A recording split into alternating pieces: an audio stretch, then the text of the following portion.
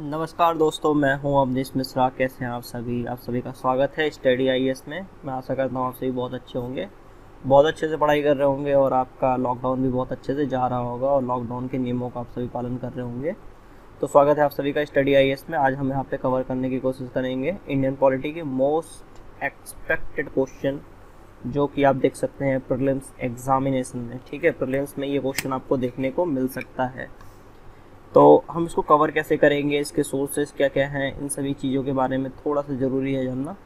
सबसे पहले ना हम इसको कवर करेंगे ना, एक नए स्टाइल में। मतलब एक ट्रेंड देखेंगे। ट्रेंड कैसे देखेंगे? For example UPSC mostly question पूछता कहाँ से? ये नहीं कि इक्के दुक्के क्वेश्चन पचास साल पहले पूछ लिया तो अब हम पूरा पचास साल के करंट अफेयर्स रटने लग जाएँ। तो वो तो पॉसिबल है नहीं, देखो। ना इतना टाइम होता है, ना इतना आप लोग कर सकते हैं, ठीक है? कर तो सकते हैं, वैसे हम किसी को चैलेंज नहीं कर सकते। लेकिन फिर वो एक्सेप्शन केस हो जाएगा। कुछ ऐसा करते हैं जिसमें हमारे मोस्ट ऑफ़ द क्वेश्चन जो है मतलब अराउंड सिलेक्शन जिससे हमारा हो जाए, उतने क्वेश्चन हम लोग कर लें। इसके अलावा मतलब एक मतलब अपने साथ ना पॉजिटिव पॉइंट मतलब बन जाए सिलेक्शन होने का। तो मोस्टली जहाँ तक मैंने एनालाइज किया है, वो डी माइनस टू अब डी माइनस टू क्या है, उसके बारे में जानेंगे। फॉर एग्जांपल जैसे आप I A S C S C U P S C C S C twenty twenty आप देना चाहते हैं। इसमें माइनस टू कर दीजिए। Two thousand eighteen nineteen twenty इतने ईयर के क्वेश्चन जो है मोस्टली यूपीएससी पूछता है बट ये गारंटी नहीं है कि 2018 बोला है तो 18 ही पूछेगा वो। आपसे 19 भी पूछ सकता है 20 भी पूछ सकता है 17 भी पूछ सकता है 16 भी पूछ सकता है कोई गारंटी नहीं है। बट मोस्टली अभी तक जैसा ट्रेंड देखा गया है, वो डी माइनस टू जो है कवर अप करने की कोशिश करता है यूपीएससी फॉर एग्ज़ाम्पल जैसे कोई भी अभी कोई बहुत ज़्यादा मतलब कंट्रोवर्शियल टॉपिक है या कुछ भी है मान लो इस ईयर बहुत कंट्रोवर्शियल रहा आपका C A N R C तो इस साल ना पूछ के दो एक दो साल बाद पूछ लेगा। लेकिन ऐसा नहीं है कि वो पूछेगा ही नहीं। या फॉर एग्जांपल अभी बहुत सारी मतलब आ, कह सकते हैं हमारे गवर्नमेंट ऑफ़ इंडिया अभी जो सेंटर में है उन्होंने बहुत सारी ऐसी नीतियाँ दी हैं बहुत सारी चीज़ें बताई मतलब कुरान से रिलेटेड दिया है। अब उसको क्रिटिकली एनालाइज करने के लिए या फिर पॉलिसीज़ को अभी थोड़ी ना एनालाइज करवाएगा वो बाद में करवाएगा आपसे। ठीक है? इसके अलावा हम इसमें कवर अप करने करेंगे सब्जेक्ट वाइज क्वेश्चंस अभी जैसे हम लोगों ने पॉलिटी लिया है ना? इंडियन पॉलिटी ऐसे हम बाकी सब्जेक्ट्स भी कवर अप करने की कोशिश करेंगे। और ये क्वेश्चन कैसे होंगे? ईयर वाइज फॉर एग्जांपल अब हम एक साथ 2018 19 20 तो नहीं करेंगे। तो हम सबसे पहले ना चलेंगे 20 ताकि थोड़ा सा आपको नॉलेज भी हो और आपकी नॉलेज भी बूस्ट हो और आपका कॉन्फिडेंस भी बिल्डअप हो। इसके बाद हम क्वेश्चन करेंगे 2019 का। इसके बाद 2018 का। जैसे ही हमारा मतलब कंप्लीट हो जाएगा, इसके बाद हम सब्जेक्ट चेंज कर देंगे। इसके बाद पॉलिटी के बाद हम लोग मे बी इकोनॉमिक्स लेंगे हिस्ट्री लेंगे जोग्राफ़ी लेंगे। ये चार सब्जेक्ट तो कवर अप करने की कोशिश करेंगे, ही करेंगे, चाहे कुछ भी हो जाए। क्यों? क्योंकि इससे आपके 70 टू 80 परसेंट सेलेक्शन के चांसेस बढ़ जाते हैं। तो हम कौन कौन सा सब्जेक्ट यहाँ पे कवर करेंगे? Polity economy history and geography. ठीक है? ये सारे सब्जेक्ट हम लोग यहाँ से कवर अप करने की कोशिश करेंगे। ठीक है? और क्वेश्चन की कोई लिमिट नहीं है कि हम पाँच हज़ार करा देंगे, ऐसा कोई थंबनेल नहीं बना रहा हो कि फाइव थाउज़ेंड करा देंगे टेन थाउज़ेंड करा देंगे। जितने क्वेश्चन होंगे सारे कवर अप करने की कोशिश करेंगे, जो भी हमें लगता है यूपीएससी पूछ सकता है। ऐसा कोई मतलब हमारी तरफ़ से स्पेसिफाइड नहीं है कि सिर्फ़ इतने क्वेश्चन करेंगे या इतने ज़्यादा क्वेश्चन दिखाने के लिए डाल दो कि भाई दस हज़ार क्वेश्चन कराने हैं। लेकिन वो क्वेश्चन कितने मतलब वैलिड पॉइंट है, कितने मतलब आने के चांसेस हैं, वो भी इंपॉर्टेंट होता है। वैसे नहीं कि यहाँ पे अमाउंट बढ़ा दो और वो किसी यूजलेस क्वेश्चन और टुच्चे प्रकार के सिविल सर्विसेज़ में मतलब सिविल सर्विसेज़ मतलब स्टेट पीसेस जो होते हैं, उसमें पूछे जा रहे हैं। तो उसका कोई पॉइंट नहीं है ना। ऐसा एग्ज़ाम की आप तैयारी करो। मोस्टली मेरा मानना ये है ना, जैसे आप सी एस सी की कर रहे हो ना U P S C C S C कर रहे हो तो एटलीस्ट अब जैसे आपका एम पी हो गया यूपी हो गया, उत्तराखंड हो गया, ठीक है? इन पीसीएस या राजस्थान का हो गया। इन पीसीएस का ना मतलब इन पीसीएस के एग्ज़ाम भी दो तो वहाँ पे भी आपको बेनिफिट मिले। अब कुछ अलग ही मतलब किसी और मतलब कुछ होते हैं स्टेट पीसीएस में एग्ज़ाम नहीं, उसमें नाम नहीं ले सकता। ठीक है? अब उनके क्वेश्चन ही ऐसे रहेंगे, वो यूजलेस रहेंगे। अब उनके क्वेश्चन के हिसाब से अगर आप प्रिपरेशन करने लगोगे तो आपको तो फिर पता नहीं क्या होगा। मतलब वो नॉर्थ से साउथ में चले जाओगे। आपको जाना कहीं है, जा मतलब पहुँच कहीं जाओगे। तो ऐसे क्वेश्चन को नहीं देखना है हमें। इसके अलावा सबसे इम्पोर्टेंट मोस्ट इंपॉर्टेंट चीज़ हम यहाँ पे डिस्कस करेंगे कि सोर्स क्या है। क्वेश्चन का सोर्स जो हम लोग क्वेश्चन दे रहे हैं, भाई इसका कोई सोर्स तो होगा ना? ये थोड़ी ना कि लक्ष्मीकांत और एनसीईआरटी बुक्स e बोल दी उससे ही से मतलब यूपीएससी थोड़ी ना पूछेगा। यूपीएससी क्वेश्चन पूछता है ना trending topic related to UPSC syllabus ठीक है? अब ये टॉपिक क्या होते हैं? जैसे आप लोग डेली न्यूज़पेपर पढ़ते हो ना? हम लोगों ने क्या किया? हम भी न्यूज़पेपर पढ़ते हैं। द हिंदू। ठीक है? Indian Express. इसके अलावा पीआईबी तो मेरे हिसाब से सभी पढ़ते होंगे जो भी कंपटीशन की तैयारी कर रहे हैं। ये तीन सोर्सेस हैं। इसके अलावा अदर रेलिवेंट सोर्स हो गया। आपके बहुत सारे ऐसे ऑनलाइन प्लेटफॉर्म है जो क्वेश्चंस को प्रोवाइड करते हैं। मोस्टली तो वैसे इन्हीं दोनों में हो जाता है और पीआईबी में हमारे सारे क्वेश्चन कवर अप हो जाते हैं। फिर भी एक ऐसे कभी कभार मैं भी ऐसे मोबाइल में स्क्रॉल करता रहता हूँ, कुछ दिख जाता है तो मैं उसको भी नोट डाउन करके रख लेता हूँ। ये सारे क्वेश्चन अपने सेल्फ मेड है। ठीक है, ऐसा नहीं है कि कहीं से कॉपी पेस्ट करके आपको अदर यूट्यूबर्स की तरह या अदर चैनल्स की तरह बहुत सारे ऐसे टुच्चे चैनल भी आपको मिल जाएँगे। जो कॉपी पेस्ट करके छापे जा रहे हैं, चिल्लाया जा रहे हैं, पढ़ाए जा रहे हैं, पढ़ाते तो नहीं है, बस वो ऐसे ही सीधे बोलते जाएँगे बोलते जाएँगे बोलते जाएँगे क्वेश्चंस को। ठीक है? तो ऐसा नहीं है।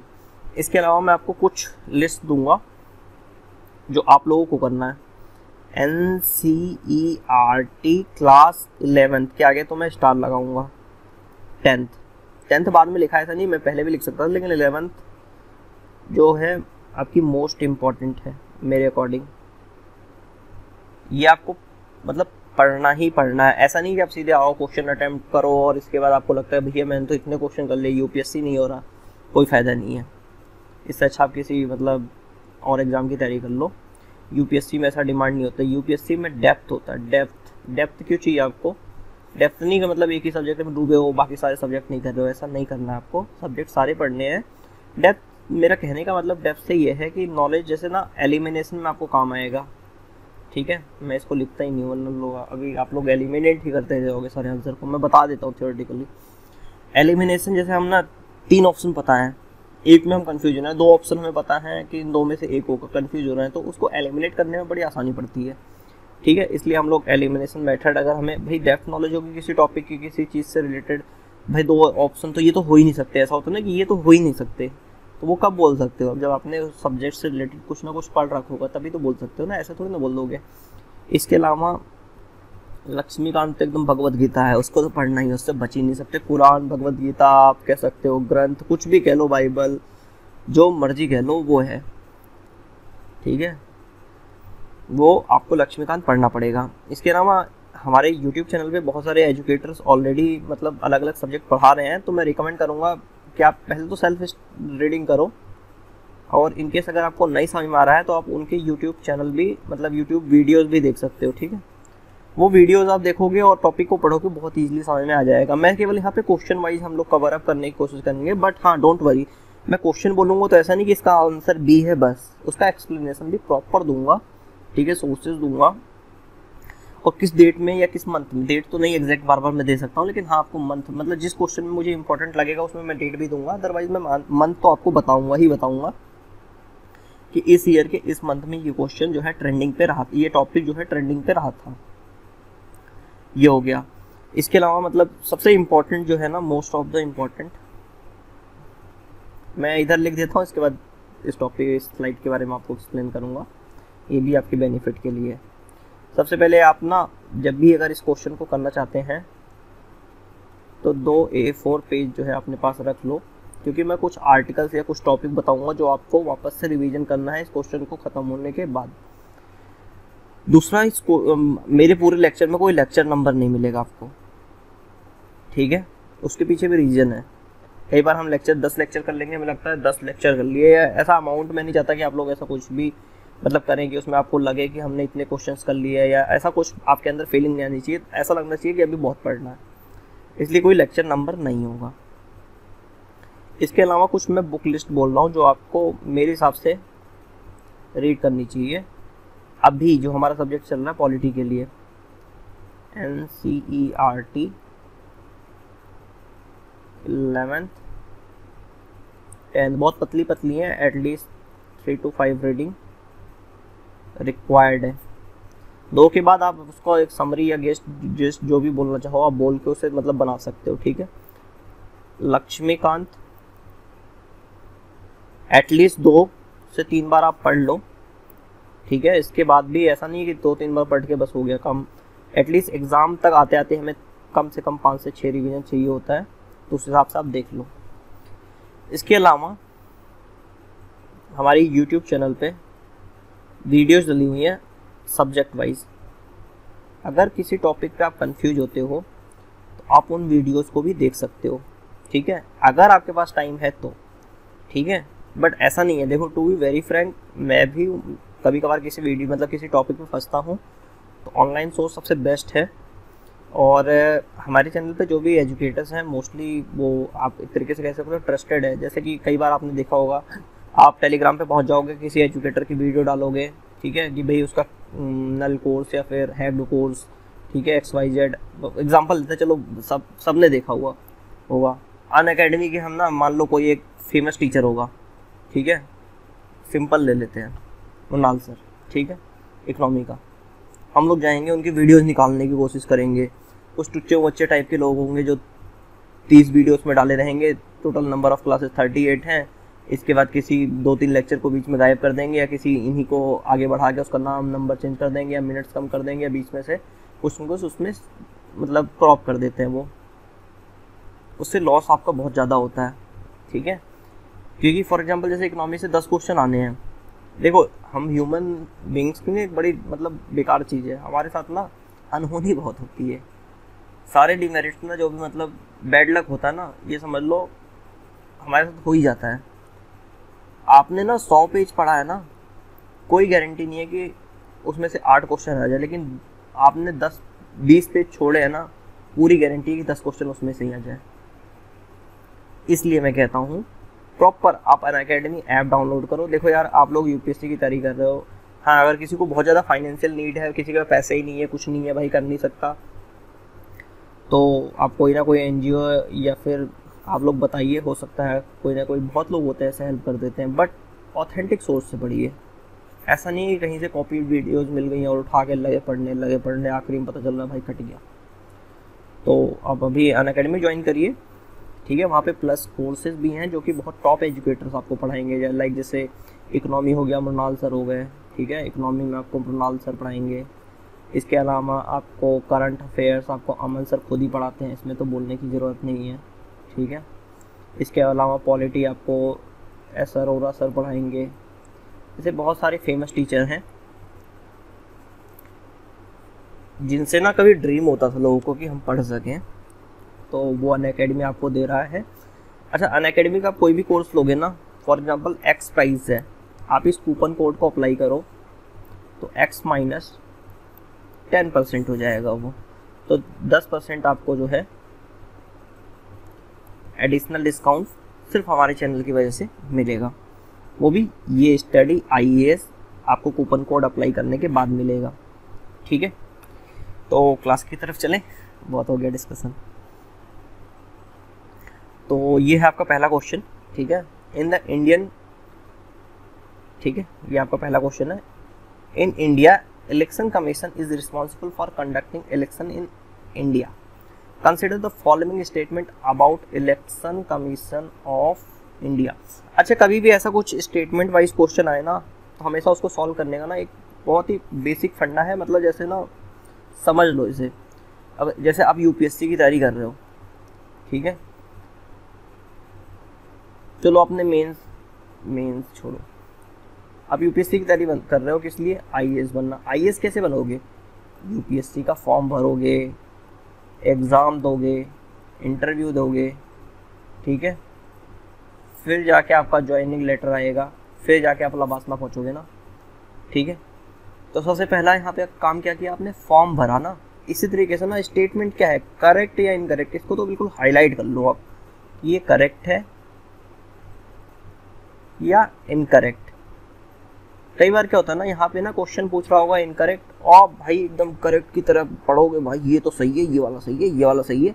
और जो एग्जामिनर वहाँ बैठा होगा ना, वो भी ऑप्शन को इसी तरीके से सेट करता है कि आप कन्फ्यूज़ हो ना गलत ही उत्तर दे जाओ तो ऐसा नहीं करना, ठीक है? तो इसके अलावा हम पढ़ेंगे दो statement it has the power to register and deregister the political parties in India ठीक है? It has launch it has launch political parties registration tracking management system which of the following या फिर अब स्टेटमेंट इज़ करेक्ट ठीक है अब भी रहेगा फॉलोइंग में तो कोई स्टेटमेंट है नहीं। तो इसमें बताया हुआ है ऑप्शन है आपका वन ओनली ऑप्शन बी है टू ओनली ऑप्शन सी है बोथ वन एंड टू और ऑप्शन डी है नाइदर वन और टू देखो सबसे पहले ना, एक चीज़ ना दिमाग में बैठा लो। लिख देता हूँ। मैं डाल लो। इलेक्शन कमीशन ऑफ़ इंडिया के पास कोई पावर नहीं है डी रजिस्टर करने का किसी भी पॉलिटिकल पार्टी को। ठीक है? तो ये हमारा ऑप्शन हो गया गलत। अब गलत हो गया ना? अब एलिमिनेशन सिखाता हूँ कैसे होगा? हमारा ऑप्शन ए ख़त्म हो गया ऑप्शन सी ख़त्म हो गया। ये वाले पे आते हैं। It has launch political party registration tracking management system अब देखो, आज का टाइम यार मतलब सारी चीज़ें ना ऑनलाइन है। ट्रैकिंग मैनेजमेंट सिस्टम होना बहुत कॉमन सी चीज़ हो गई। आप ना स्पीड पोस्ट भी करते हो ना, आपको ना एक कोड मिलता है। उस कोड को ना आप कभी भी डालोगे ना, ठीक है? आपको सारी डिटेल मिल जाएगी, आपको पोस्ट कहाँ पहुँचा है, कौन से में जहाँ मतलब हफ़्ते लास्ट स्कैन हुआ है। तो ये ऑप्शन हो सकता है मतलब एलिमिनेशन मेथड से बता रहा हूँ। और वाकई में ये ऑप्शन है। तो हम ऑप्शन बी को टिक करेंगे। ठीक है? या हमारा आंसर सही है। और ये इसका सोर्स है। डेली हैंड आउट से मेरा मतलब है कि मैं ऑनलाइन सोर्सेज को यहाँ पे मेंशन नहीं कर सकता। तो बहुत सारे ऑनलाइन सोर्सेस हैं। वहाँ से ये क्वेश्चंस को लिया गया है। ठीक है? मैंने बोला ना मोबाइल को स्क्रॉल करते रहते हैं। तो इलेक्शन कमीशन ऑफ़ इंडिया ठीक है? Has launch political parties registration tracking management system to easier registration of political parties the applicant will be able to track his or her application and will get application update through S M S and email and can also track it through E C I portal at ये उनका portal है S T T P S ठीक है secured को show करता है और S T T P non secured को शो करता है। P P R T M S dot E C I dot G O V dot in in real time ठीक है?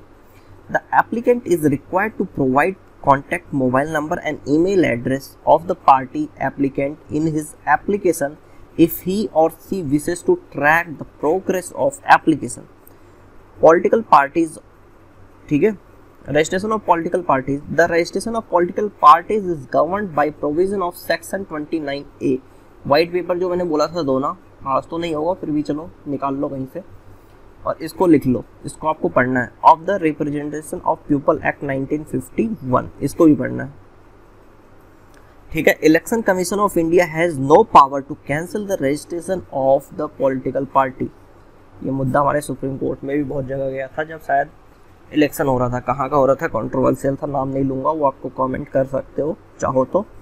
ये polity election and representation of people act जो है आपका topic है। इलेक्शन सिस्टम इन इंडिया जो है आपका सब टॉपिक है। जनवरी 2020 में बहुत ट्रेंडिंग में रहा ये क्वेश्चन मतलब क्वेश्चन नहीं ट्रेंडिंग में रहा है टॉपिक रहा है तो हम लोगों ने उससे क्वेश्चन बनाया हुआ है। इसके अलावा question number two consider the following statement about electoral electoral bond ठीक है? ये एक चीज़, चलो इसके बारे में बता देता हूँ। ये मल्टीपल ऑफ़ थाउज़ेंड में आता है, ठीक है? हज़ार के मल्टीपल में मिलता है। बैंक का नाम तो नहीं बता सकता क्योंकि ऑलरेडी इसमें ऑप्शन में है। ठीक है? इट विल कैरी इंटरेस्ट ठीक है? सेम एज रेपो रेट ठीक है? अच्छा ये स्टेटमेंट वाला क्वेश्चन है तो हमेशा सीधे नीचे आके ना इसको मार्क कर लो। करेक्ट पूछ रहा है इनकरेक्ट पूछ रहा है करेक्ट पूछ रहा है यहाँ पे भी। These bonds are available only by Reserve Bank of India government security थोड़ी ना है जो रिज़र्व बैंक ऑफ़ इंडिया देगा। खैर, चलो अभी बाद में इसके बारे में डिस्कस करेंगे। Registered political party secure not less than one percent of the votes polled in last election are eligible to receive electoral bonds ठीक है? Select the correct answer from the code given below देखो जी। It will carry interest rate तो बिल्कुल गलत है। ठीक है? ये ज़ीरो इंटरेस्ट रेट प्रोवाइड करता है, ठीक है? सिंपल एक बैंकिंग सिस्टम से इसको जोड़ा गया है। एनोनमस इन नेचर होता है। वो इसलिए कई बार ऐसा होता है ना, हफ़्ता मांगने वाले, चंदा मांगने वाले आते हैं, बाद में वो फिर जो बिजनेसमैन को थ्रेट करते हैं, प्रोत्साहन करते हैं, ठीक है? बहुत सारे लोग ऐसा होता है, आप लोगों ने केसेस देखे होंगे, पुरानी पिक्चरों में भी देखा होगा। इवन उनके जो सी होते हैं, वो उनको भी नहीं बताना चाहते, ठीक है? कि भाई मैंने किसको डोनेशन दिया है। तो उस केस में वो इलेक्टोरल बॉन्ड को यूज़ कर सकते हैं। इसमें वो सिंपल बोलते हैं, मैंने एक्स अमाउंट जो है डोनेट किए हैं। आप डाल दो हमारे बैलेंस शीट में, कंपनी की बैलेंस शीट में। नाम उनको बताने की ज़रूरत नहीं है। ठीक है? और these bonds are only sold by Reserve Bank of India ये भी ऐसा भी नहीं है। ये सिर्फ़ एसबीआई की ब्रांचेस में ही अवेलेबल है। Registered political party secure not less than one percent of the votes polled in the last election are eligible to receive electoral bond yes ऐसा है। तो इस हिसाब से हमारा स्टेटमेंट थ्री करेक्ट होता है। मेरे अकॉर्डिंग चलते हैं एक्सप्लेनेशन की तरफ़। एक्सप्लेनेशन भी यही बोलता है। ठीक है? सोर्सेस वही मैंने आपको जो बोला। ठीक है? इशू इलेक्टोरल बॉन्ड की फीचर देख लेंगे सीधे इसका। Although called bond will not carry any interest rate क्या होता है ना, कई लोग ना बॉन्ड देखेंगे। अब उन्हें लगेगा, भाई, ये तो इंटरेस्ट रेट देगा ही देगा। ठीक है? क्योंकि बॉन्ड्स में लोग निवेश करते हैं। ठीक है? गवर्नमेंट बॉन्ड बहुत सारी चीज़ें होती हैं। ठीक है? तो ऐसा मतलब आपको मतलब कंफ्यूज नहीं होना। It will not carry the name of payee जो मैंने बोला एनोनिमस रहेगा। पता नहीं लगेगा किसने दिया या फिर आपके सीईओ को भी नहीं पता रहेगा। बस आपको डालना है कि भाई मैंने ये बॉन्ड के थ्रू किसी पार्टी को डोनेशन दिया है। ओनली सोल्ड बाई एस ठीक है? एलिजिबल कौन है? सिटीजन ऑफ़ इंडिया और एंटिटीज इनकॉर्पोरेटेड और established in India. Registered political party secure not less than one percent of the valid polled in last election are eligible to receive ठीक है? और ये आपका सब्जेक्ट है। टॉपिक सब टॉपिक ये भी जनवरी 2020 में बहुत मतलब टॉपिक ट्रेंडिंग पे रहा था। इसके बाद क्वेश्चन नंबर थ्री देखेंगे। With reference to electoral bond consider the following statements on buying this bond one can get interest up to 60 percent of the total value of electoral bond तो मैंने पहले statement में बता दिया है। ये यहीं से गलत हो जाएगा। These bonds are available for purchase for a period of ten days in some particular months only वैसे तो मेरे हिसाब से ये सही है। बट इसके बारे में अभी मैं डीप आपको बहुत सारी चीज़ें और भी बताऊँगा। A political party should have to secure at least one percent of votes polled in most recent Lok Sabha और state election in order to eligible for receiving electoral bond ठीक है अब स्टेटमेंट वाइज क्वेश्चन है तो सबसे पहले यहाँ पे आगे देखो करेक्ट करेक्ट पूछ रहा है या इनकरेक्ट पूछ रहा है? देखो, पहला ऑप्शन गलत हो गया। जहाँ जहाँ पहला है, सीधे रिमूव कर दो। हमारे पास ऑप्शन सी ही बचता है, इसके अलावा बचता ही नहीं है। ठीक है? बट चलो इसके बारे में डिस्कस तो कर लेते हैं। ऐसा लगेगा सर भी तुक्का ही मारना सिखा रहे हैं। ये सही है। और कुछ कुछ महीने में मिलता है। अबाउट फोर मंथ्स हैं। वो मैं अभी एक्सप्लेनेशन में आपको बताऊँगा। मल्टीपल ऑफ़ थाउज़ेंड होता है। ज़ीरो इंटरेस्ट रेट होता है। और ये पॉइंट भी सही है। लास्ट लोकसभा में वन परसेंट वैलिड वोट्स आपको मिले होने चाहिए। तभी आप इसके लिए फिर इलेक्शन कमीशन आपको अकाउंट नंबर देगा। उसी अकाउंट नंबर से आप उन बॉन्ड्स को रिडीम कर सकते हो। ठीक है? हमारा ऑप्शन सी करेक्ट है। Sources daily hand out same वही। What are the electoral bond electoral bonds are bearer instrument in nature of promissory notes ठीक है? And interest free banking instrument interest free ठीक है? This can be redeemed only through the registered account of political parties in prescribe time frame ठीक है, जो दस दिन वाला बोला।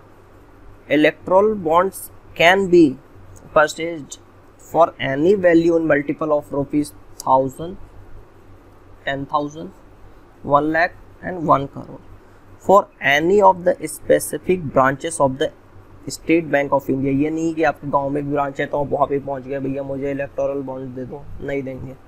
क्या पता वहाँ पे अवेलेबल है नहीं है, पहले वो पता कर लेना। ठीक है? Every party that is registered under section twenty nine A इसके बारे में आपको पढ़ना भी है, मैंने लिखवाया है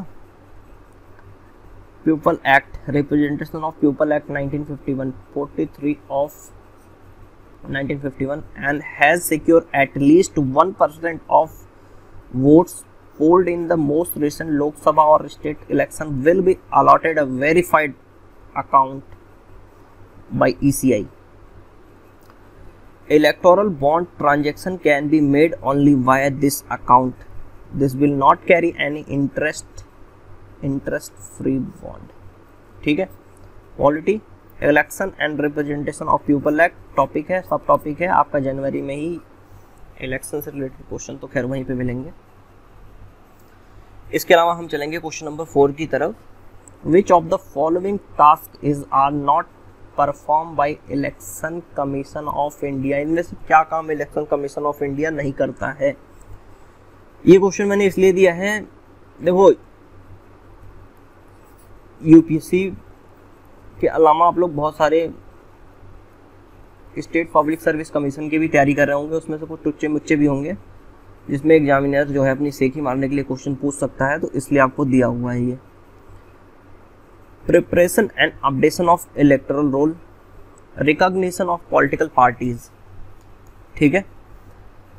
Conduct of election to parliament state legislation and local bodies determination of timing of election and preparation of election and schedule ठीक है?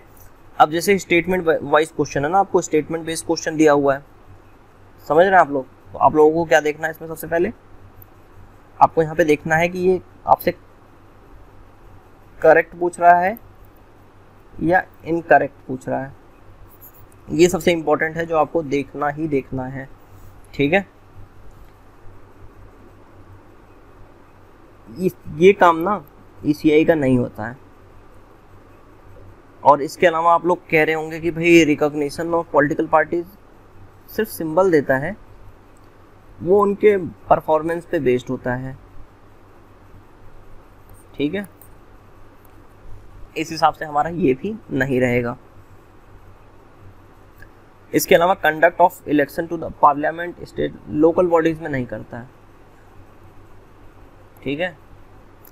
Determination of timing of election and preparation of election schedule ठीक है? नहीं local bodies में भी करता है। State election commission I am sorry ये करता है।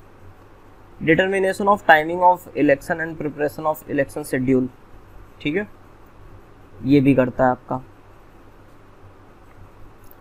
अब चलते हैं हम ऑप्शन की तरफ़। ऑप्शन वन हमारे पास नहीं है तो ये ऑप्शन और ये ऑप्शन हट गए हमारे। Conduct of election to the parliament state और ये ये भी है हमारे ऑप्शन में। अब बात चलती है टू एंड थ्री में से कौन सा करेक्ट होगा या दोनों करेक्ट होंगे। तो रिकॉग्निशन ऑफ़ पॉलिटिकल पार्टीज़ ये काम हमारे इलेक्शन कमीशन ऑफ़ इंडिया का नहीं है। परफॉर्मेंस बेस होता है। आप इतने परसेंट तो आपको स्टेट पार्टीज़ का मतलब वो मिलेगा। इसके अलावा पॉलिटिकल पार्टीज़ के symbols government of sorry election commission of India देता है। बट पर्सनली ऐसे किसी को रिकॉग्नाइज नहीं करता है। वो ये आपके परफॉर्मेंस पे होता है। तो इस हिसाब से ये ऑप्शन हमारा हट जाएगा। ऑप्शन डी आपका करेक्ट है। सोर्सेस, सेम वही ऑनलाइन सोर्स है। Election of local bodies is conducted by state election commission the election commission of India has a wide range of function it supervise the preparation of up to date voter list जो आपका voter list होता है ना, उसको up to date रखना। Election commission of India का काम होता है। It makes every effort to ensure that the voter list is free of error like non-existence of name of registered voter or existence of names of those non-eligible or non-existence. It also determines the timing of election and prepare, uh, pre prepares the election schedule. The election schedule includes the notification of election date which nomination can be filled. Last date of uh, for filling nomination last date of scrutiny. Scrutiny क्या होता है ना जैसे form में कोई गलती तो नहीं है या कोई कैंडिडेट जिसका फॉर्म गलत हो या फिर हट जाता है उसका नाम ना इसलिए लोग अपने फैमिली मेंबर्स का भी डाल के रखते हैं। ये मतलब टेक्निकल है ऐसा नहीं है कि यूपीएससी के सिलेबस पर आपसे पूछेगा जनरली बता रहा हूँ। दो दो फॉर्म भरते हैं वैसे जनरली जो भी कैंडिडेट होते हैं। लास्ट डेट ऑफ़ विड्रॉवल कई बार लोग मतलब डिसाइड करते हैं किसी वजह से कि भाई हम इलेक्शन नहीं लड़ेंगे तो अपना एप्लीकेशन वापस भी ले सकते हैं। Date of polling and date of counting and declaration of result during this entire process the election commission has the power to take decision to ensure free and fair poll it can also postpone और cancel the election in entire country और specific state और constituency on the ground that the atmosphere is vitiated and therefore a free election may be possible एक second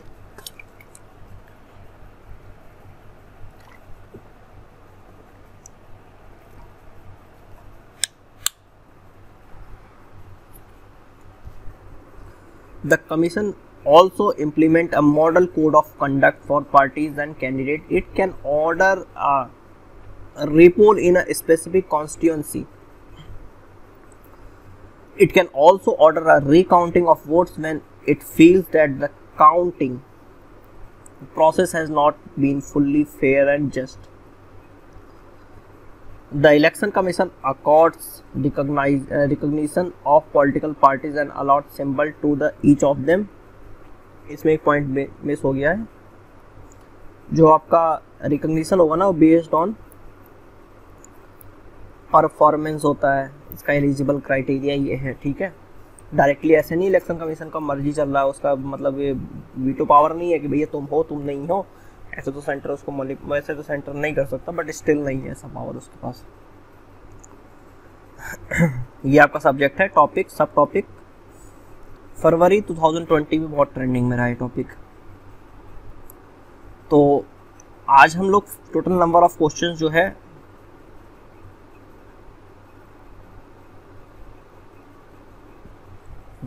five लेंगे।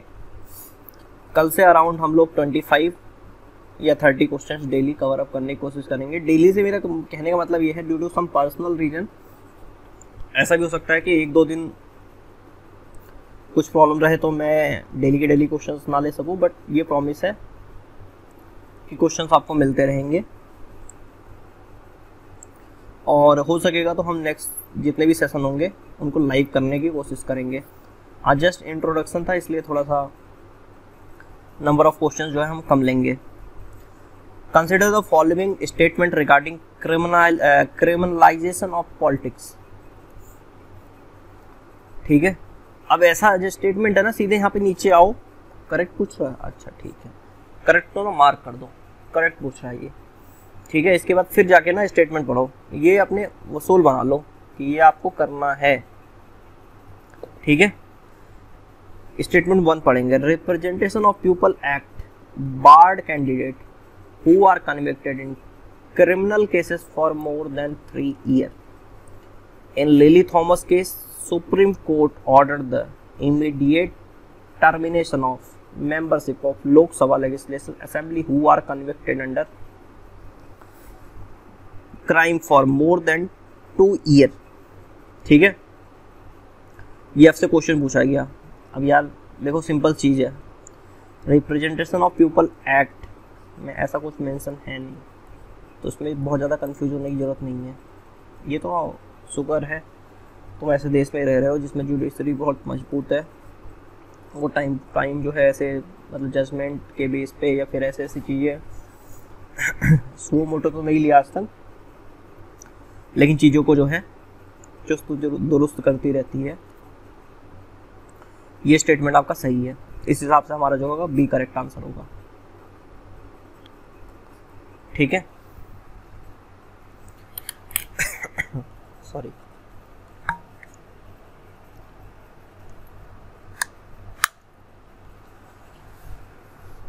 supreme court of India in its judgement date 10th of July 2013 while disposing the Lily Thomas versus union of India along with Lok Parihar Prahari Parihar नहीं versus union of India rule that any member of parliament member of legislative assembly member of legislative council who is convicted of a crime and given a minimum two year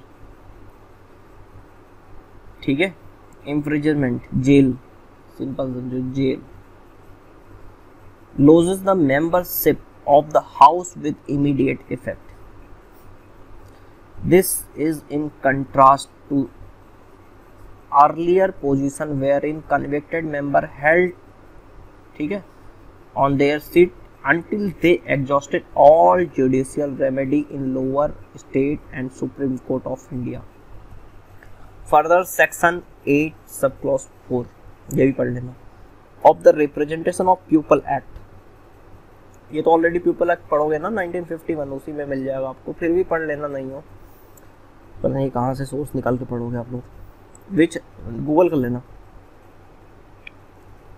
Which allowed elected representative three months to appeal their conviction was declared unconstitutional कुछ कुछ चीज़ें मैं highlight कर रहा हूँ। By the bench of justice A K Patnaik and justice S J Mukhopadhyay.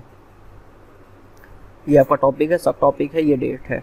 तो कैसी लगी आपको वीडियो वीडियो अच्छी लगी हो तो लाइक करना, बुरी लगी हो तो आप डिसलाइक भी कर सकते हो। साथ ही साथ मुझे कमेंट में बताना भी आपको क्या बुरा लगा है, ताकि हम लोग अपने आप में इम्प्रूव कर सकें।